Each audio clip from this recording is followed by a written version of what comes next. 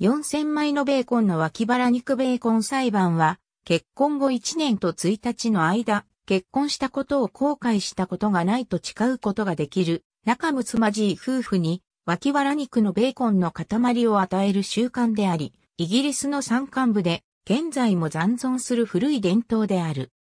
この伝統は、ウィッチナーの荘園で少なくとも18世紀まで続けられていたが、現在は屋敷の暖炉の上にあるベーコンの形の彫刻が名残として見受けられるのみである。エセックス州リトルダンモにも18世紀に行われていた類似の祭典があった。この伝統はいずれの場所でも少なくとも14世紀まで遡ることができる。断毛のベーコン裁判は調査に言及されたことがある。どちらの場においてもベーコンは滅多に授与されず、非常に珍しい。断毛の伝統は、ウィリアム・ハリソン・インズワースの本ザ・フリッチ・オブ・ベーコンに大いに影響され、ビクトリア朝時代に復活した。ベーコン裁判はグレート断毛で、現在も行われている。推薦された夫婦を質問し、最低に値しないことを証明するために弁護士が雇われる。ベーコン裁判の伝統はヨーロッパ本土のグレートブリテン島外部に存在し、サクソン時代まで遡れるという証拠がある。歴史家の H.A. ガーバーは、ベーコン裁判の儀式の起源と、北欧神話の神フレーの礼拝で、獅子肉が食べられる、ユールの祝祭を結びつけた。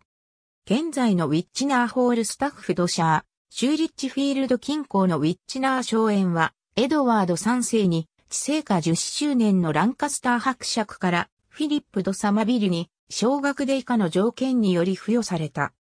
四巡節を除く毎日、ウィッチナーのホールにベーコンをかけなければならない。このベーコンは結婚後1年と1日の間、他の誰にも心が移り変わらなかったと誓った後、ベーコンを欲しがる人に与えられる夫婦は、サーフィリップの前で誓いを立てることになっていた。夫婦は誓いが真実であることの承認として二人の隣人を提示することが要求された。仲睦まじいということが認められた夫婦はベーコンをもらい、祝福を受けたが、これは頻繁に起こることではなかった。ホレス・ウォルポールは1760年にウィッチナーを訪れた。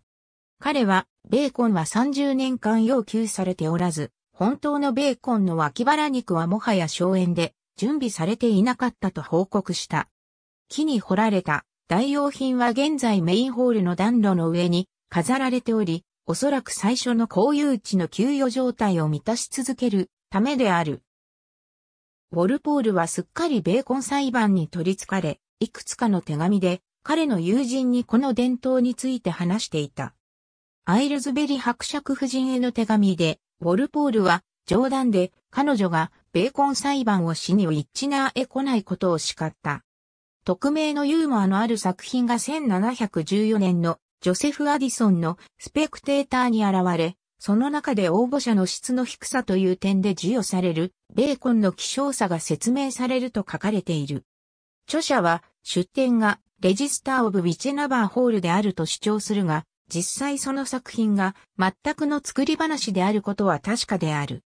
この説明によると、最初に裁判を受けた夫婦ははじめは、裁判がうまくいっていたが、どのようにベーコンを下ごしらえするかで言い争いになり、ベーコンは取り上げられた。他の夫婦は、しぶしぶ参加した夫が尋問の間に妻にビンタされたため失敗した。ハネムーンの直後に申し込んだ夫婦は、尋問を通過し終えたものの、過ごした時間が不十分だったため一枚のベーコンの薄切りのみが与えられた。この伝統の最初の世代に成功を収めたたった二組の夫婦のうちの一組は、実のところ結婚してから一年以上も会っていない、船の船長とその妻であったという。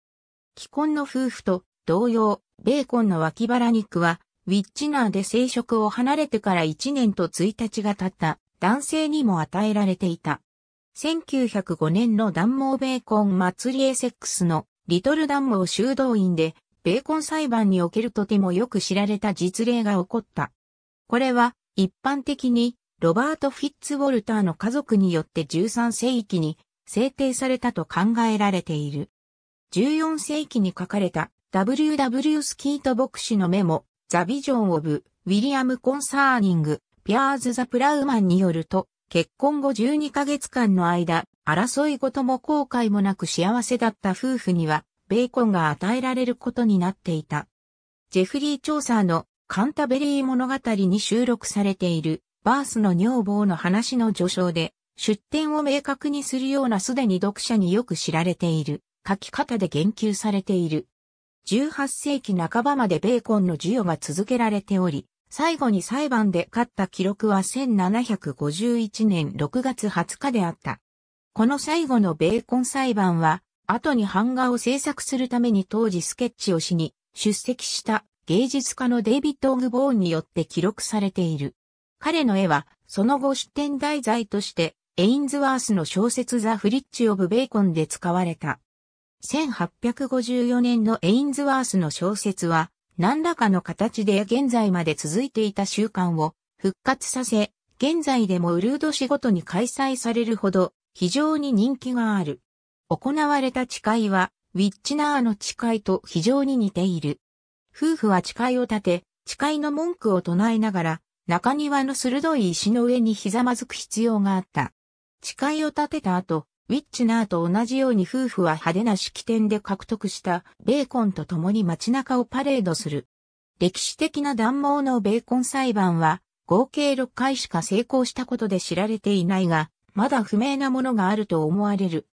うち3つは修道院の解散に先立つもので、リチャード・セント・ジョージの家の記録から知られており、さらに3度の授与例が現在大英博物館にある。断毛の荘園の裁判所の記録から知られている。修道院の解散後、ベーコン裁判が再び行われるまでに長い期間があったが、この伝統は1701年にトーマス・メイが修道院の所有者になった時に復活した。1772年6月12日にジョンとスーザン・ギルダーがベーコンをもらおうと試みた。夫妻は自分たちの要求について叱るべき通知を出しており、多くの見物人が集まった。しかしながら、荘園領主は儀式を行わないように命じており、入れないように修道院の門を釘付けにして閉めてしまった。1809年までにはこの伝統は完全に廃れていた。1832年、引退したチーズ職人のジョサイアバインがベーコンをもらおうという要求をまた行い、レーディングから妻を連れて訴え出るため断毛まで旅してきた。バインも、リトルダンモーの非常にそっけない出自により裁判を拒否されてしまった。1837年10月8日、ジョン・ブルが、サフロン・ウォールデンと断毛の農業協会がこの習慣を復活させたと報道した。しかしながら一見したところ、このベーコンは年に一度の協会の生産会で振る舞われただけだったようである。1851年にフェルステッドの夫婦が同様に修道院での裁判を拒否されたが、二人がベーコンに値すると考えた近くのグレート・ダンモウの人々により、ベーコンを送られた。古いベーコンイス・エインズワースが1854年に刊行した小説が大変な人気を得たため、ベーコン裁判はビクトリア朝に復活することとなった。1855年、復活後最初のベーコン裁判の儀式が行われたが、エインズワース自ら二塊のベーコンを寄付して伝統の再生に協力した。それ以来、二度の世界大戦による中止を除くと、この儀式は何らかの形で継続して行われている。まだ食料が配給制の時代であったにもかかわらず、第二次世界大戦後の最初の儀礼が1949年に行われた。現在の裁判は4年に一度、順年に行われている。次の実施は2020年である。断毛ベーコン裁判委員会がイベントを組織しており、寄付してくれたスポンサーのためにベーコンを節約すべく、応募者を尋問する顧問を雇う。裁判の決着は、陪審員がつける。儀式が最初に復活した際、夫婦がひざまずくのに使った元々の石はどけられ、うまくいった場合に座って運んでもらう椅子も、高級的に、リトルダンボー修道院で保管されることになった。しかしながら、現代の儀礼では両方とも代わりのものが使われている。現代の裁判は、もともとこの習慣が行われていた小さな村であるリトルダンモーではなく、近くのグレートダンモーの町で行われる。ダンモーは、ベーコン裁判の習慣を21世紀まで続けている、唯一の場所だと名乗っている。ダンモーのベーコン裁判儀礼は13世紀にフィッツウォルター家が始めたとされているが、より昔のノルマン人やサクソン人の時代まで遡るとする者もいる。リトルダモー修道院が創設された1104年のことだと示唆する者もいる。これについては、すでに断毛のベーコン裁判は、調査のバースの女房の話や、ウィリアム・ラングランドの農夫、ピアズの夢といった古い著作でもよく知られたものとして出てくることも理由の一部として挙げられている。アングロサクソン年代記にある記述を断毛のベーコン裁判に言及しているものだと読解する者もいる。ベーコン裁判はかつてはもっと広く行われていた可能性もある。ブルターニュのレンヌにある聖メラニー修道院でもベーコン裁判の伝統があり、ここではベーコンは申し出る者がいないまま6世紀もぶら下げられていたという言い伝えがある。ウィーンでもベーコンではなくハムがショーとしてもらえる似たような習慣がある。ハムは町の門にかかっていたが、これを勝ち得ることになった者は登って、自分でハムを取ってくるよう期待されていた。ある商社は、ハムを持って戻ってくる間に、コートが汚れたら妻が怒るだろうとうっかり口を滑らせてしまった後、賞を没収されることとなった。歴史家の H.A. ガーバーは、この伝統は、ゲルマン人がキリスト教以前に行っていた祝祭で、現在ではクリスマスと不可分な形で融合しているユールに関連する古代ノース人の習慣まで遡るという仮説を立てている。ガーバーはユールは主にトールの神に捧げられたものだが、イノシシグリンブルスティに乗った神であるフレイにとっても重要であったと論じている。ユールにはフレイを称えるべく、イノシシを食べることになっており、イノシシは評判に曇りのない男しか切ることができない。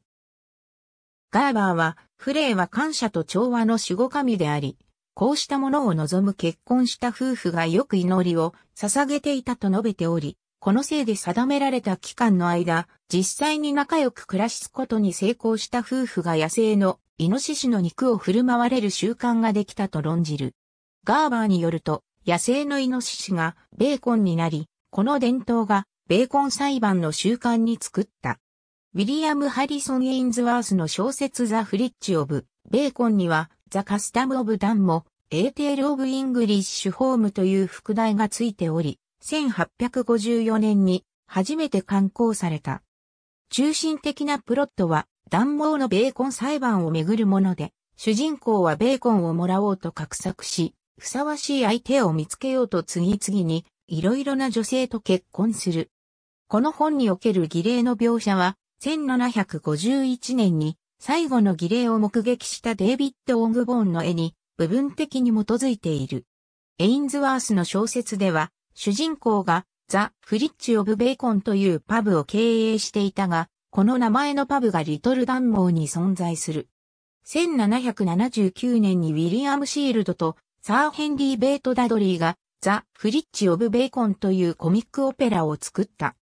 1952年に作られたメイド・イ・ウン・ヘブンという映画では、デイビッド・トムリンソンとペトラ・クラークが暖房でベーコンをもらおうとする夫婦を演じている。